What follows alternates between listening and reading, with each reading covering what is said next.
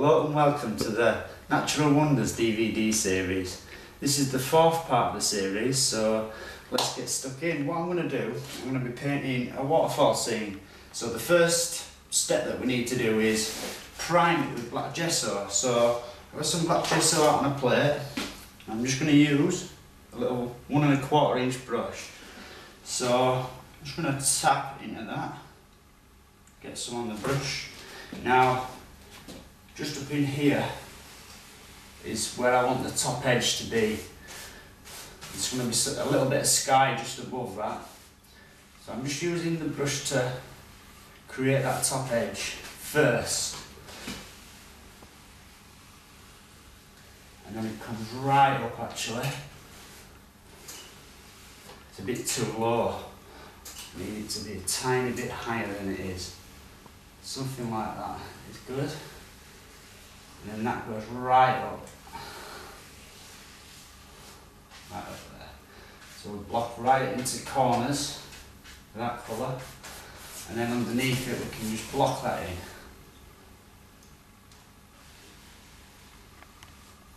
There we go.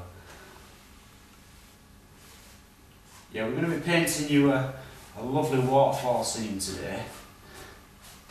And what you're going to see is you're going to see type of waterfall that you would get in a rainforest somewhere in Peru, somewhere like that. Beautiful lush plants, lovely greens, and all these beautiful things, the flowers and everything will all be reflected down into the water.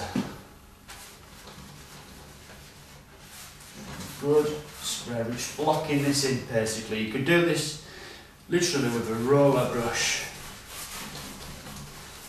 You're a lot quicker with a roller brush as well.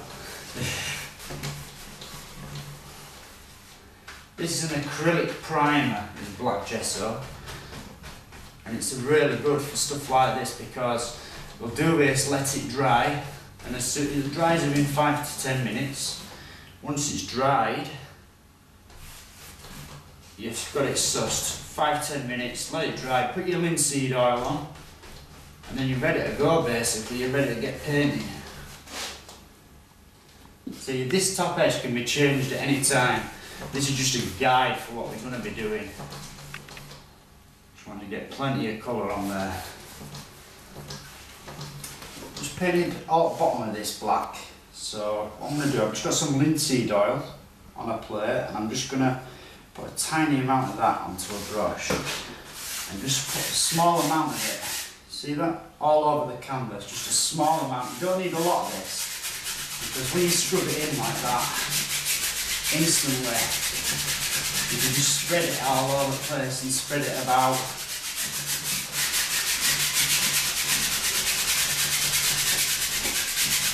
Really just got to scrub it in there, really be tough with it. You don't want too much on. If you end up getting too much on, get a paper towel and wipe off the excess paint, uh, the excess linseed oil, sorry.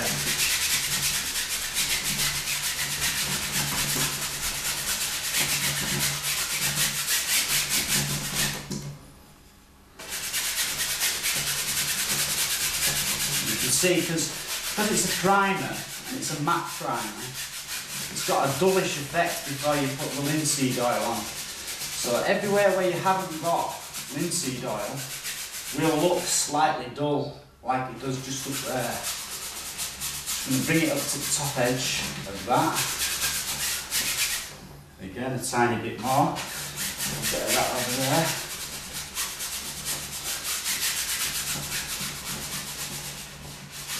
And what this does, it makes the old canvas slick and wet Obviously we're painting a wet on wet technique, so we want it to stay slick and wet throughout the whole of the painting. So we're just putting this linseed oil on there. Gives us that slick and wet paint when we actually, we're going to cover this now just with some oil paints. I'm going to mix up some oil paints and cover it slightly with some of that there. Scrub that in. somewhere near.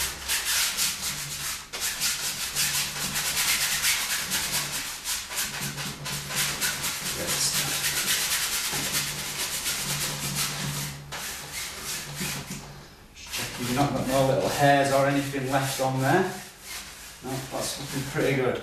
Right, so I'll put that down. I'm just going to tell you a couple of stuff. Before I actually start, I always tap the bristles of my brushes like so because what happens is dust rests on there and then when you start painting all this dust and hairs and stuff start coming off on your painting so it's something to always be aware of. Now, just want to show you the colours that we've got on the canvas. We've got Midnight Black, Van Dyke Brown, Phthalo Blue, Prussian Blue, Alizarin Crimson, Sap Green, uh, Indian Yellow, Yellow Ochre and Lemon Yellow. And then we've got some white over here.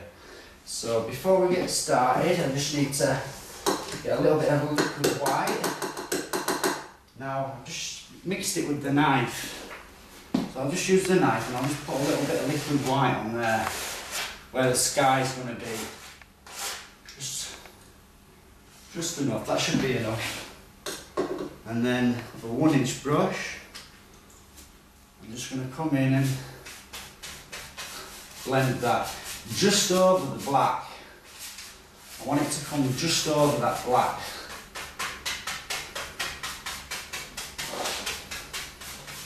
You need just enough liquid white on. You don't want a lot.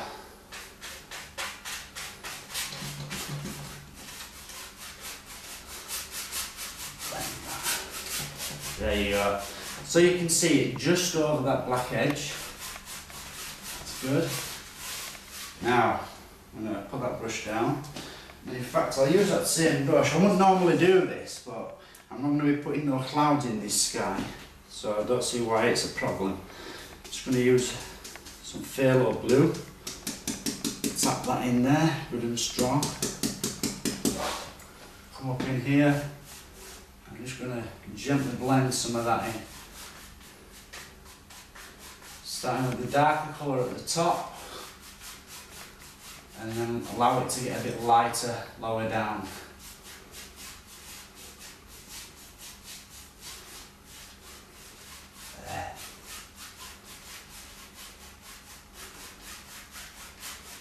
Something like that. That's good enough for that stage. And I'm going to get a little bit of Prussian blue, which is a darker blue. Prussian blue is much darker. And then I'm going to use that just in that top edge. Now if I grab myself a clean brush and then just come into the light area, I can actually blend that really soft.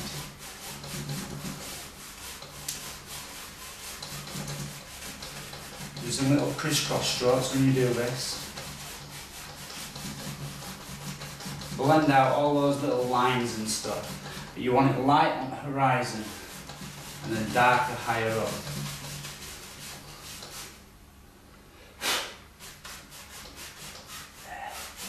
Maybe a bit of blue just down in there. So it's still getting lighter, but there's just a, a small amount of blue still on there.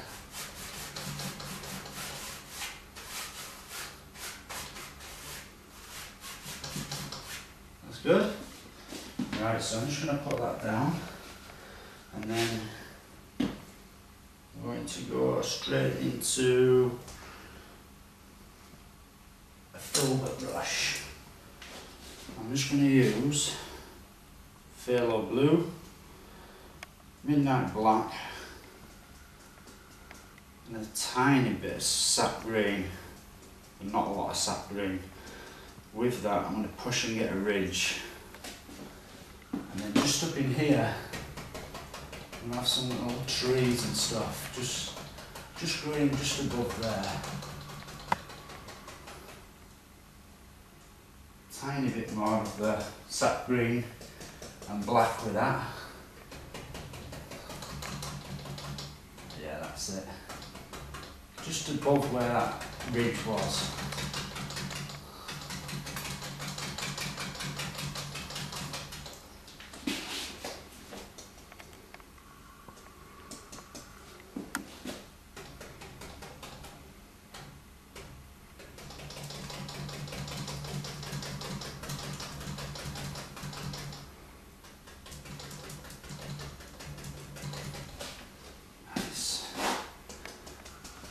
all the way along here we're going to have some trees at the top.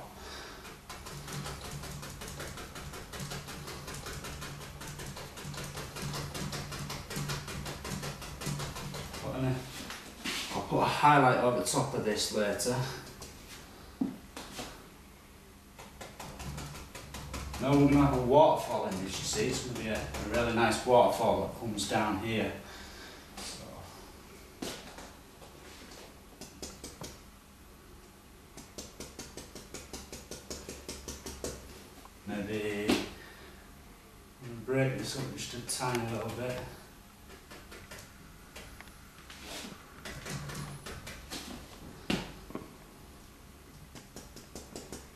So black and sap green, tiny little bit of blue.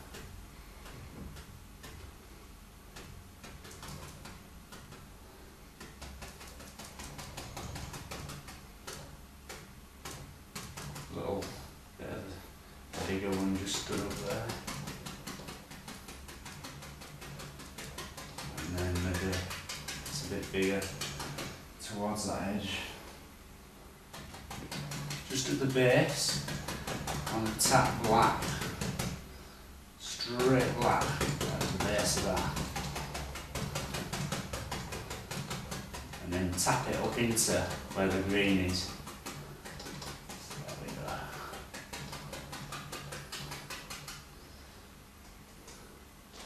Just don't want to see that line where the gesso was before, so by putting these bits of dark in, just gets rid of that. Now, for this I'm just using straight black and then tapping it into the green. At this side.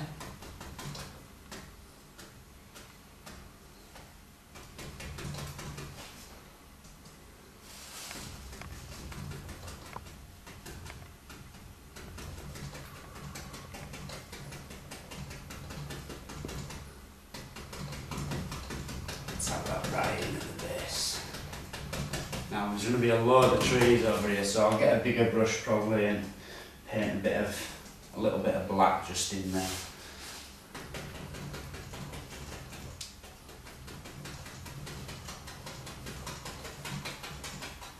So remember there's two stages I've done. The lighter greens first, and then we've got the darks that I've just popped in there. Like I say, all this behind here, just going to be lots and lots of trees. Now, I know that there's going to be quite a bit of mist coming up here, and that's why I'm just going to use a, bit more black than green just in there because I don't want the mist to turn green.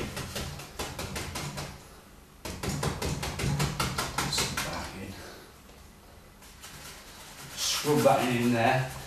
Doesn't really matter, just scrub a bit of colour in. I know you can't see this, but it's just a bit of black and a bit of green.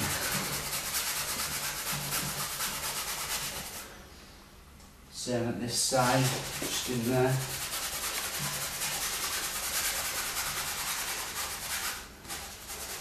Right now, I know that where the waterfall is, there's still trees just up behind it. So I'm going to paint them trees in, but I'm, I'm going to use just the black. Just to, like so. Reason being is that I'm going to put the waterfall in front of this area. So I don't want it to mix with the green. So I'm putting that dark on first, bit of that black. And then we'll have some colour underneath the waterfall.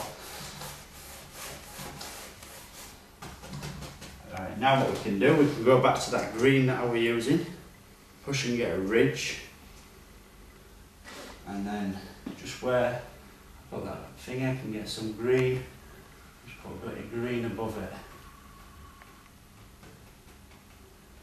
There, just in there. A lot of stuff going on up there. That's cool. Now, I'm trying to think which brush I should use. Maybe a one inch because it's quite a, a decent sized waterfall. Now, Just gonna get some black, smidgen of blue. In fact, I'll go into that green because that'll act as a duller for this. Tiny bit of crimson. Don't forget, there's only a right little bit of green there, so don't go using loads. It's just as I'm using it as a duller. Tiny bit of blue. So black, crimson, and a tiny bit of blue. Now, where the waterfall's going to be, I'm just going to do it in my mind first, dark. Good way to do it, get, get a bit of practice in. I know where it's going to go. Just want to practice. That's the motion that we're going to want. So now I'm just going to use that same brush. I'm just going to use titanium white and mix that dark colour with the titanium white first so it goes a lovely like a, a light lavender colour but a, it looks a bit grey as well because of the black that's in it. So just over here I'm just going to come along and down. There see that? Because this waterfall is quite a decent size even bring it a bit further see we're going to chop it off as well at one point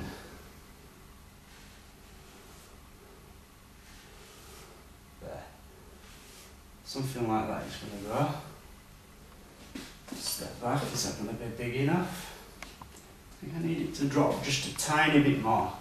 So I can just again come over and just let it drop just that smidgen more. Same um, at that side. But you need to make sure you come straight down with this. Straight down. Yeah. I'm going to chop it off somewhere like there. So now I'm just going to put that brush down. I'm get a clean one inch brush, just like a good one for it. Then I'm just going to get straight titanium white on this brush, but I'm getting a lot of colour. You can see how much colour there is, that's plenty there. And then you just pull through it. So then you don't end up with too much on your brush, just like so. And then with that colour, you just come in.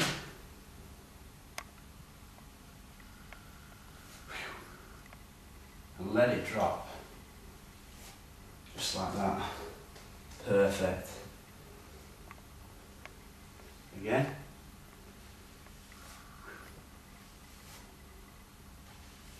Love it. Now I want it to get slightly wider just at the base. There. See how just at the bait. Now, I know that we've got another little one coming from up here, so I'm just going to use the side of the brush.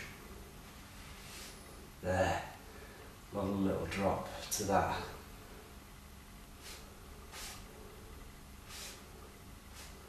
That's lovely. Step back, have a good look. I'm happy with that lovely torrent going over there, isn't it? Right, so I'm just gonna you go back to my filbert brush and then I'm gonna use I've a bit dark on it already. Use sap green, cadmium yellow, sorry, India, Earth lemon yellow. I don't want it to be too garish, I don't want it to be over the top this colour, you know, with the brightness of it. So I'm just going to use a small amount of black as a duller at the side and then put that into it there, that's perfect. There's quite a lot of paint there and I've done that for a reason. See how I'm getting rid of the majority? Now I can actually tap, because it's the dark on the brush, you'll see it coming out there. So I'll tap and I'll push and get a ridge of paint. And that's what lives out there on the palette. And then jump in here. Start painting in some of these little trees and highlighting them. Turning them into little individuals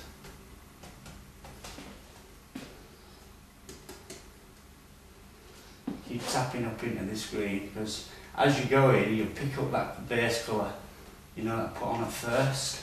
so you just reload, make sure your bristles are open, and then you can just highlight it, no problem. I'm going to come a bit higher there so it looks brighter, just on the top. That's it. Nice, and then it goes off down in the shadows. Maybe uh, another little one there. I like to work on these trees as little individuals. Treat them like individuals.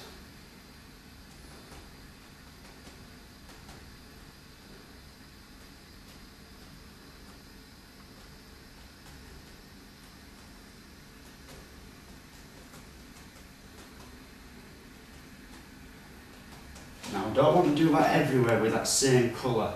So what I do is I'll move on a bit and then say we'll do these that are in this corner.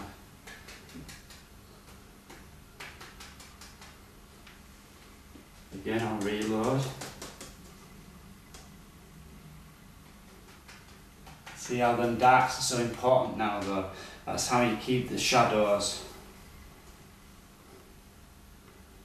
Maybe bit colour upon there. Nice. Loads of little individuals. One down there, leave that one dark up there. Just straight dark.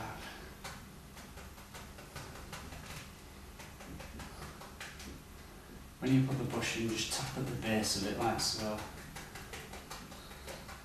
And then we'll just change the colour slightly. Put more yellow, Indian yellow, just there. More to the Indian yellow side, this one.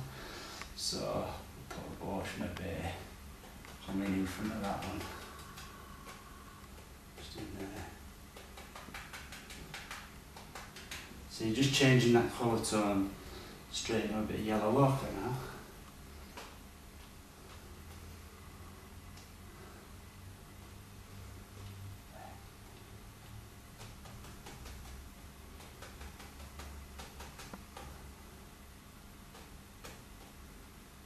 Leave them shadows behind, uh, underneath the base. Don't kill all them.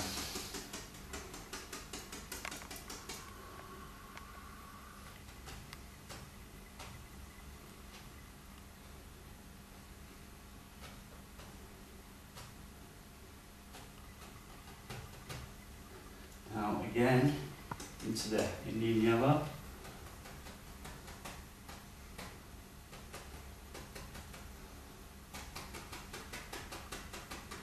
all different shapes and sizes.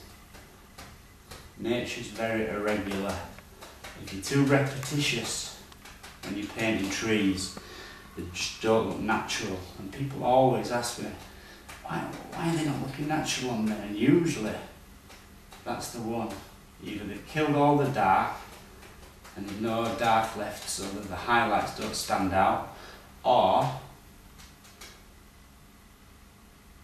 or they've actually tapped it in too much and mixed it with the base coat and mud mixing as we like to say which is very easy to do. But by keeping it clean like this as you can see it's really easy to highlight these trees. Because we've already got the black on underneath. It means you don't need a lot of oil paint on you know dark oil paint. Therefore you're not picking up much on your brush when you're actually painting like I am now one side of the waterfall.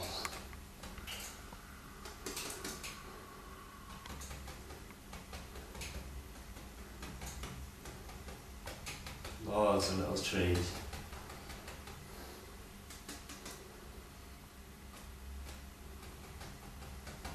Some of them want to be slightly brighter than the others. And then put some in a bit darker. Just on the edges, brighten that up. Nice one. Yeah, a bit more yellow ochre. Just up there needs it, just on the top. That's it.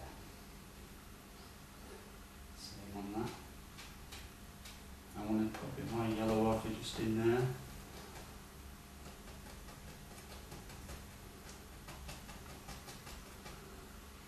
I really enjoy doing this. This layering is so much fun. It really is. See, I've left all them in shadow, and then you put some bright ones in between. It's a nice thing.